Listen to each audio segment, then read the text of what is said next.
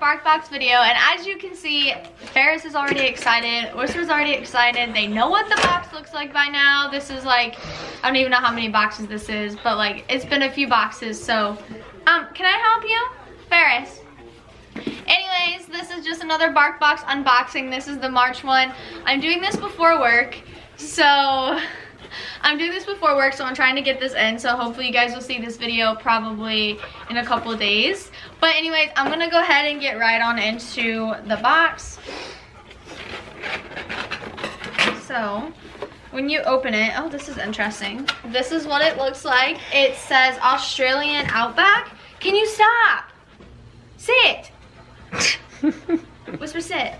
Okay, so then once I open this up, like this. So I'm so it says like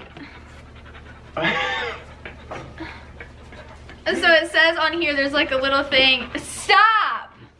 It says our doggo's latest adventure takes takes them to the wildest place in the world, Australia. So I'm assuming it's like um for like the Australian fires.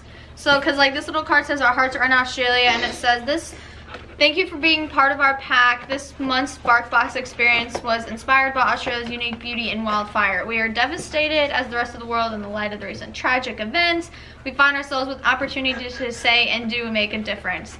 So that's cool. So it says, um, so they're pretty much helping support um, like the animals that got injured, like koalas and stuff. It says, due to the bushfires, Bear and his colleagues are deployed to find koalas to bring them safety and medical treatment. So to help Aaron his work, they're donating $25,000 to IFAW's Koala Dog Detection Program. And they'll also donate additional dollar for each new BarkBox subscription made to the month of March. So that's really cool. So they're helping out Australia. Hmm.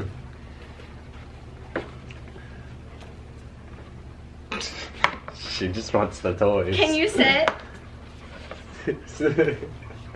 As you can see, she's more hype about it than Whisper. Ferris! Okay, so the first toy we have is a crocodile, but look how cute this is. This is what it looks like. it squeaks. It's called Crikey Crocodile. It's a crinkle. It has, it's a treat holder and a disc squeaker. How's it a treat holder? Oh, I guess this is the treat holder here. But that's really, really cute.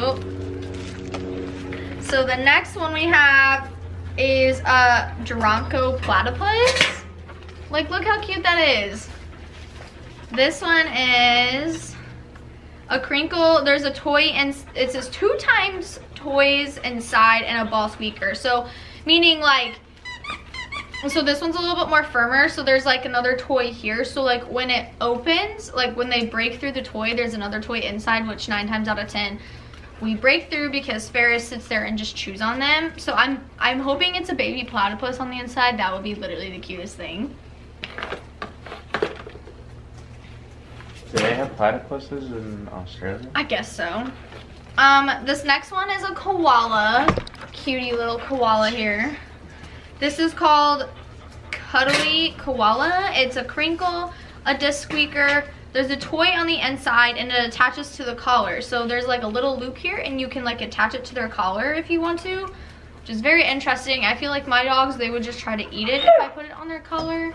Um, yeah. So this will be the first thing that honestly gets ripped off. We'll probably just cut it off, but there's also a toy on the inside of this what, one. What, what is gonna get ripped off? This, that you like, you can hook it to their collar. But we use harnesses, so we don't really use collars. Well, actually, if you can just use the Velcro and you can just stick it on their Velcro. I could. We'll have to try it out. We'll try it out. And I'll let you guys know like an update video. But the next thing we have is a pork stick. This is a hard and chewy one, just a pork recipe um, stick. And then I have two bags of treats. The first one is Meat Pie Mates. It's a lamb dog treats and they're just little like squares. Um, so that's what these look like. And then these ones are burger under the with burger with the loot lot loot I guess.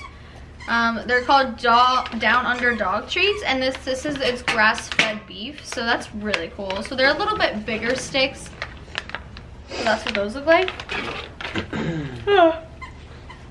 All right, and then and then just on the inside, there's other things that you can get. Like you can get a kangaroo, That would have been a cool. sugar glider, a Tasmanian devil, um, and I don't even know how to say an emu, a Shiba emu a lizard, a kookaburra, and some other like it's like enchidita. I don't know how you say it, but yeah, those are like all the toys. You can go on their website and like like reorder different toys like if your dog really likes a toy but we typically don't do that because we literally have so many dog toys so many bark bark dog toys like that's 90% of our toys that we just go through them and like the ones that are in good like better condition we like donate them or give them people who like need them or like the ones that are just completely disgusting and torn up we throw away.